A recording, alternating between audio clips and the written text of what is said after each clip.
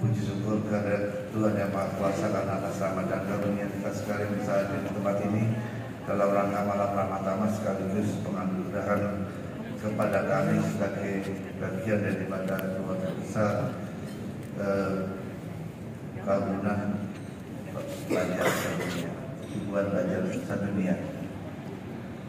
Pertama-tama Pak Gubernur dan hadirin sekalian kami mengucapkan penghargaan dan penghormatan setinggi-tingginya kepada seluruh keluarga besar warga Kalimantan Selatan di bawah kepemimpinan Pak Gubernur yang sudah menerima kehadiran kami bersama rombongan di Polda Kalimantan Selatan untuk melakukan kunjungan kerja sekaligus kegiatan eh, kesehatan dan sosial yang dilaksanakan bersama-sama dengan Polda Kalimantan Selatan dan Kalimantan Selatan di yang tadi siang baru kita laksanakan.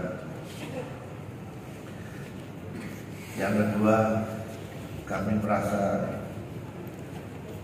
terhormat dan patut berbangga diri karena hari ini kami diterima sebagai warga kehormatan keluarga besar eh, Kembunan Buat Bajar tentunya ini suatu amanah yang amanah baru kepada kami sebagai orang Indonesia yang memang multi etnis saya kebetulan orang Jawa saya dikatakan keturunan Sumatera jadi keturunan Padang dan Mandailing. Istri kebetulan bapaknya Padang. Ibunya dari ibu mertua dari Mandailing. Kemudian keluarga istri keluarga kami sendiri yang kami 12 saudara sampai 21 itu istri juga ada enam saudara dari berbagai suku tentunya itulah wujud Indonesia yang berbeda-beda namun tetap satu. Luar biasa saya melihat Pak beliau ternyata juga seniman. Lagu yang beliau ciptakan dan kita nyanyikan tadi menunjukkan itu energika beliau di dalam dan membawa Kalimantan Selatan ke yang tentunya lebih baik. Penampilan tarian adat Radap Rahayu dan beberapa prosesi adat yang ditampilkan merupakan gambaran bahwa kerukunan tubuhan Banjar sangat menanamkan nilai-nilai luhur dalam setiap kegiatannya. Hadirin yang berbahagia, Selaku warga kehormatan Banjar, saya mengingatkan bahwa pemilu dan pilkada serentak 2024 sudah di depan mata. Bahwa Presiden meminta semua pihak untuk terus menjaga semangat toleransi, bineka tunggal ika dan persatuan bangsa dalam menyongsong gelaran pemilu 2024. Dan bahwa Presiden berharap agar pesta demokrasi dapat dipersiapkan dan dijaga agar hasil dan prosesnya dapat berjalan dengan baik. Dalam kontestasi pemilu dan pilkada serentak tentunya perbedaan pendapat dan pilihan tidak dapat dihindarkan. Namun perbedaan tersebut tidak boleh menjadi perpecahan terhadap hal-hal yang berpotensi menyebabkan perpecahan kesatuan dan kesatuan bangsa harus menjadi musuh kita bersama. Sebagai warga kehormatan uh, Banjar kami mohon izin.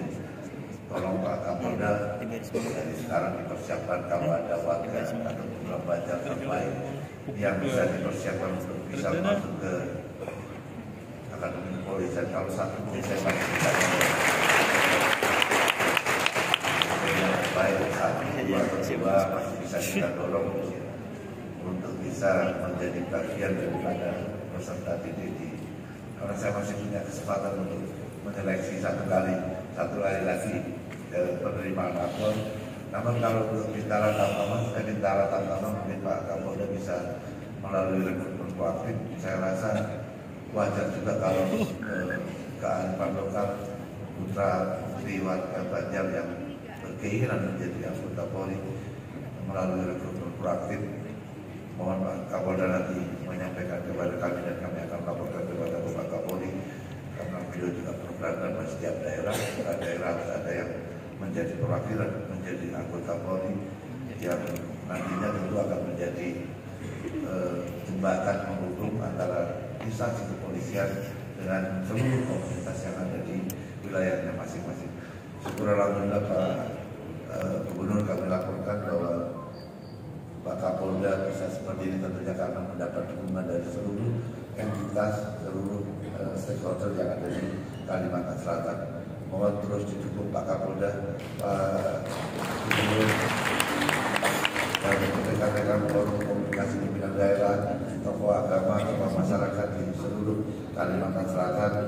Mudah-mudahan tidak salah Pak Kapolri menempatkan Pak Andirian sebagai Kapolda di Kalimantan Selatan untuk bisa menjadi merekat kebinekaan, kemudian upaya untuk selalu mendekatkan diri kepada masyarakat.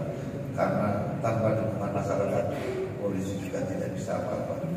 Harapan besar dari Bapak Kapolri adalah bagaimana polisi mampu untuk mendekatkan diri kepada masyarakat, gunakan seluruh potensi yang dimiliki oleh institusi kepolisian untuk benar-benar bisa digunakan untuk bukan hanya bisa mendorong dan mengajak seluruh komunitas untuk menjadi bagian yang memberi solusi kepada masyarakat menjadi mencari alternatif solusi penyelesaian masalah yang dihadapi masyarakat melalui kewenangan-kewenangan yang dititipkan kepada institusi kepolisian yang pada saat ini diamanahkan kepada Pak Andidia selaku Kapolda di Kalimantan Selatan. Tentunya harapan kami kepada seluruh pejabat utama dan para Kalimantan Selatan untuk tidak ragu-ragu menjalankan apa yang menjadi arah bijak Bapak Presiden, arah bijak Bapak Kapolri yang tentunya ini menjadi dasar daripada Pak Kapolri dalam melaksanakan tugasnya sehari-hari karena itu adalah yang terbaik untuk masyarakat. Saya mengajak keluarga besar Perkebunan Bubuan Banjar untuk berperan aktif sebagai kulit sistem jadi kegiatan bakti kesehatan, bakti sosial berkelanjutan ini harus terus dilakukan sebagai bagian untuk uh, sistem pendingin di dalam mudah-mudahan kontestasi politik itu tidak akan menjadi pemanas tapi bisa namanya pesta mudah-mudahan ini betul-betul menjadi ajang untuk kesukacitaan seluruh masyarakat di dalam e, menyelenggarakan pesta demokrasi yang memang setiap tahun yang harus kita laksanakan menjadi garda terdepan dan merapatkan barisan bersama pemerintah, TNI Polri dan stakeholder terkait untuk menjaga NKRI dan pihak-pihak yang memiliki kepentingan yang dapat merusak persatuan dan kesatuan bangsa. Sebelum mengakhiri sambutan ini, izinkan kami menyampaikan pantun Pak Gubernur, hadirin sekalian, baju basah terkena tinta. Tak bisa hilang bekas tintanya. Indonesia kaya suku dan agama. Mari kita jaga kesatuan dan persatuannya.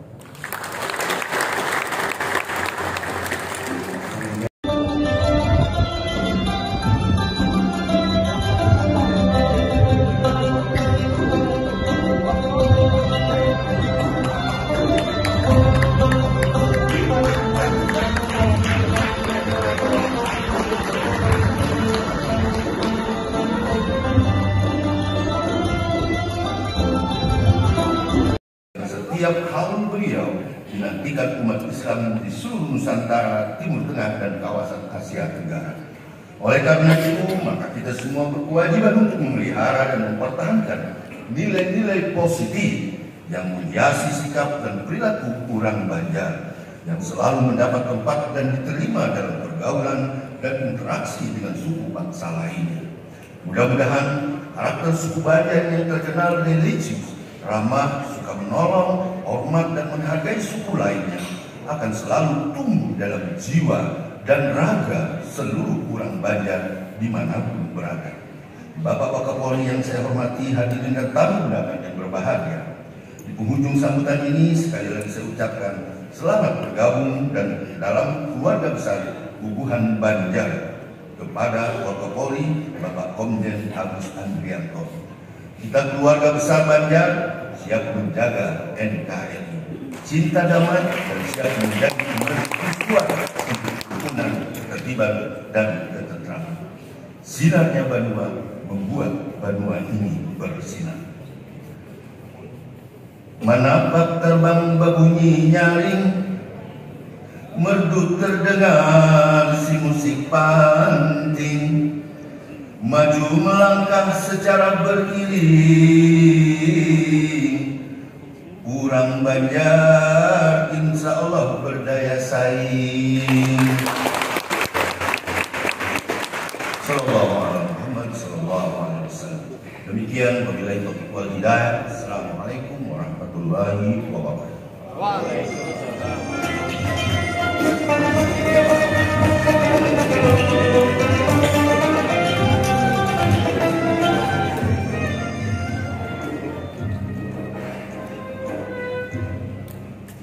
Bapak Ibu hadirin yang kami hormati, selanjutnya marilah kita dengarkan bersama sambutan Wakil Kepala Kepolisian Republik Indonesia kepada Bapak Komjen Pol Dr. Agus Andrianto, SHMH